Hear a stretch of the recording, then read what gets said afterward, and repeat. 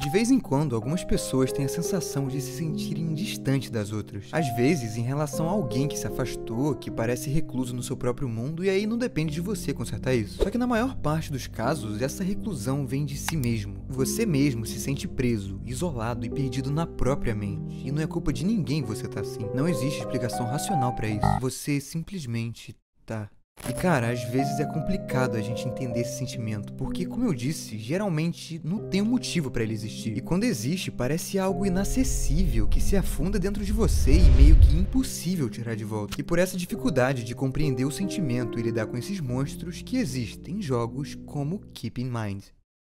Esse aí é um joguinho da Steam, produzido ou pelo menos remasterizado em 2018. Ele na verdade é bem simples, tem um cenário pixelado, não tem puzzle e nem um grande desafio. Mas o que faz eu falar dele e trazer ele pro canal é justamente a mensagem que ele passa. Se você quiser jogar, tá o link na descrição, mas relaxa que eu vou contar tudo, explicar o jogo e depois refletir junto com vocês sobre o que essa mensagem quer passar. Fica o aviso que ele toca em assuntos meio pesados, então se você for sensível é melhor não assistir. Mas se você quiser ver e ficar até o final, final, eu prometo que vai ser recompensador. Só pega um lencinho pro caso de secar o olho. Talvez vocês precisem.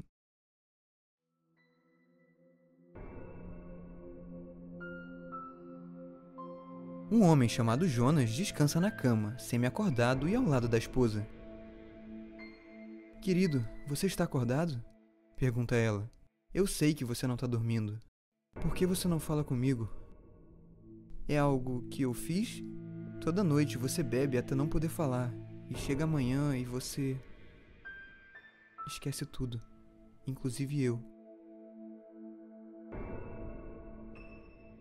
Eu me sinto tão longe de você. Depois do diálogo unilateral sem resposta nenhuma por parte do homem, de repente. Hã? Onde. Onde estou? Eu acho que essa é. Essa parece a minha casa, mas. Isso é impossível. Então você acorda no que antes era o seu quarto, mas agora é apenas uma representação escura e sem vida dele. A sua esposa sumiu, as cores foram embora e não resta nada, além do vazio e uma música melancólica no fundo. Eu preciso sair daqui. Alguma coisa deu muito errado. Então você começa a jogar. Caminha pelo espaço em direção à porta de saída, até dar de cara com uma criatura bizarra. Ora, ora, ora. Será que é o nosso Jonas mesmo? Vem aqui, deixe-me dar uma boa olhada em você. Você se aproxima do monstro e ele continua a falar. Resumidamente, ele diz que faz muito tempo reclama o porquê o Jonas não o reconhece e diz que ele vai ser condenado a vagar naquele espaço para sempre. Abre aspas. Você sabe que nunca provavelmente escapará. É melhor você nem tentar. Mas se você está tão ávida por ir embora, marionete curiosa, eu vou dar uma dica a você. Olhe em volta. Tudo isso não lhe parece familiar? Eu aconselho a escutar bem o que todas as vozes aqui têm a dizer. Elas são mais familiares do que você pensa. Então a conversa termina por agora. A gente, nesse momento, não tem ideia de que lugar é esse, porque é tudo tão escuro e o que é essa criatura reptiliana.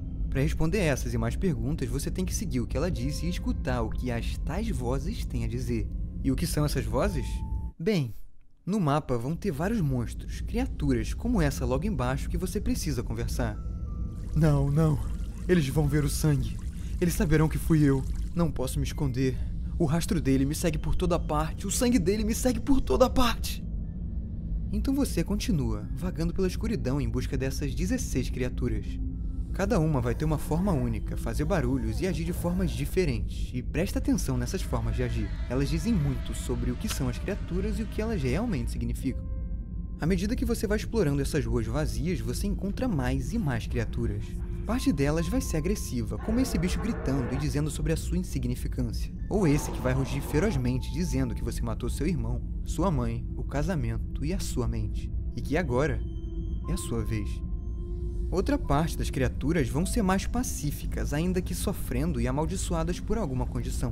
Esse bicho em formato de olho, por exemplo, vai agir de forma paranoica, dizendo que não dorme há três dias com medo de alguma coisa. Tem também esse outro que tá meio recluso e se esconde atrás de uma casa implorando que nunca mais seja encontrado. Algumas figuras vão estar tá estáticas, presas num loop de sofrimento, dor e num vazio imensurável. Como essa carregando o livro nas costas dizendo que odeia o trabalho e que quer ir para casa.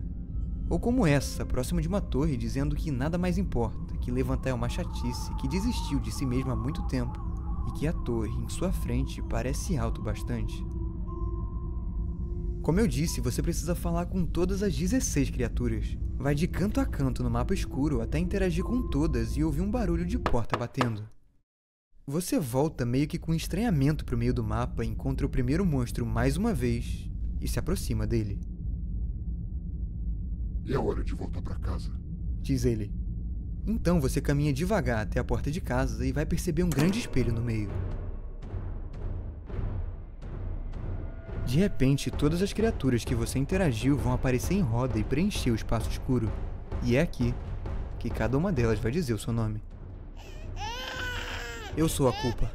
Como eu, eu assisto ao erro que você cometeu de novo e de novo. Então eu vejo seu irmão morrer diante dos meus olhos. E eu vejo você não fazendo nada. De novo. E de novo. Eu sou a resignação. Eu sou todas as vezes que você desistiu. Toda a tristeza que você não pôde suportar. Toda vez que você quase acabou com tudo. Eu sou um fardo. Eu trabalhei todos os dias incansavelmente, fingindo que a minha existência inútil significa alguma coisa. Eu carrego o seu mundo nas minhas costas. Eu estou tão cansado, não me faça carregar tudo isso, Jonas. Eu sou o arrependimento. Por favor, deixe-me entrar de novo. Eu. Eu sou ansiedade. Eu sou a desesperança.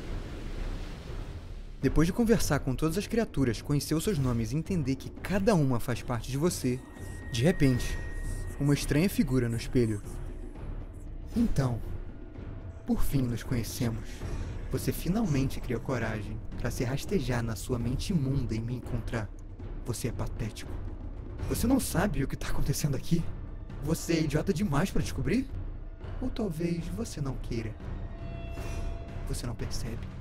Estes são seus pensamentos, as suas memórias, as suas culpas e as suas obsessões. E todos eles odeiam você.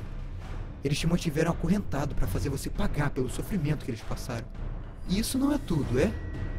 O seu irmão está morto por sua causa. Em breve, o seu casamento terá o mesmo destino. Você se debate em sua culpa e raiva. Todas as chances de uma vida que vale a pena destruir. Você tem medo de ficar sozinho com seus pensamentos. Então, você tenta afogá-lo. O que você não percebe, no entanto, Aquelas vozes que você tentou tanto bloquear gritarão mais e mais alto. Grite até seus ouvidos sangrarem. Você nunca ouvirá nada de ninguém. Não. Para. Para com isso. Eu não quero ouvir mais isso. Você não manda em mim. Eu não tenho que viver assim.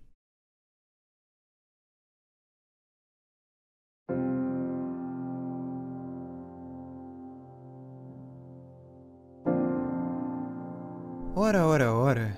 Será possível? Certamente passou um tempo. Não há por que ficar amedrontado, meu caro. Esse lugar é seguro e eu não tô aqui para te machucar. É tão bom vê-lo de novo. Esse lugar mudou muito com o passar do tempo. Você se lembra como era antes das trevas? Antes da morte do seu irmão? Você era tão pequeno. E você sempre visitava a gente. Nós éramos os seus melhores amigos. Você não vê, Jonas? Nós somos você. Nós amamos você e ainda amamos agora mas alguns de nós estão terrivelmente confusos e assustados. Sem você, essa escuridão. Essa escuridão nos sufoca. Nos distorceu, transformando-os em algo que você mal reconhece algo monstruoso. Mas nós ainda somos seus, caro Jonas. E nós ansiamos pela luz. Antes, quando você amava a gente. Antes, quando você amava a si mesmo. Você sabe o que tem que fazer. Você precisa perdoar a si mesmo e perdoar aqueles que machucaram você. Somente então você poderá ter uma vida plena.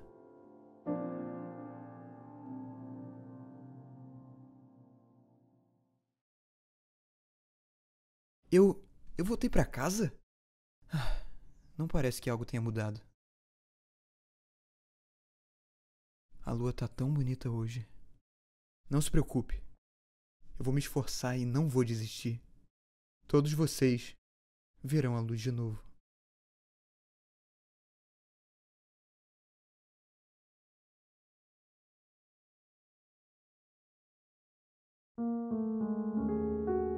Eu juro que eu não sou de chorar, eu não sou de me emocionar fácil com jogo, filme, o que for, mas mano, esse joguinho deixou meu olho levemente umedecido, vamos dizer assim. Eu sempre vou pensar da mesma maneira. Para mim, não importa se o jogo é curto demais, tem uma mecânica ou gráfico muito simples, se a mensagem que ele passar for boa e bem feita, cara, essa é a única coisa que importa. No fim, o Jonas, assim como grande parte de nós, seres humanos, não conseguia acessar esses sentimentos ruins, essa angústia escondida que prejudicava tanto a vida dele e o impedia de vivê-la.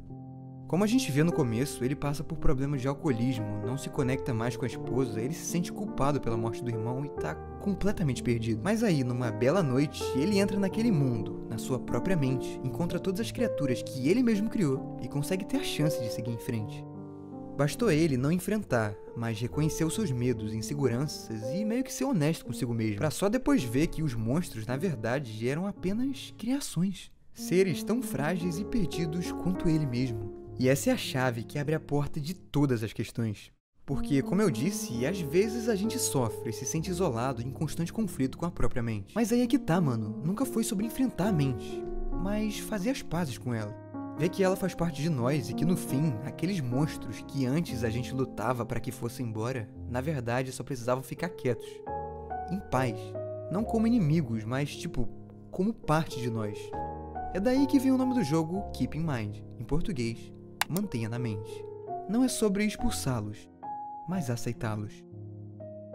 Esse jogo realmente me pegou de surpresa, cara. Eu esperava que ia dar um soquinho, mas não tão forte. Droga. Bom, eu gostei muito dele, o tema é sim delicado e eu não podia deixar de falar uma coisa muito importante. Se você está passando por algum problema de qualquer escala, seja por algo externo, interno, seja por um motivo racional ou sei lá, mano, por motivo nenhum, você pode e deve procurar ajuda. Fazer isso não te torna uma pessoa fraca, frágil, pelo contrário, é um dos maiores sinais que você é forte. É sempre importante fazer isso quando necessário e lembrar que a gente acha que tá sozinho, mas não. Muita gente aí passa por problema parecido, já passou, vai passar, meio que faz parte. A gente precisa reconhecer, pedir ajuda e procurar a própria fonte de cura. E meu caro e cara, eu só digo uma coisa: quem procura, acha.